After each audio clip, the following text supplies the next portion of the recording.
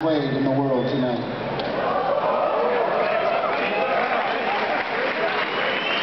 And I waited. I wanted to wait. I wanted to wait till uh, till we came to Brazil to play this piece for the very first time because I know you guys love this game just as much as I do.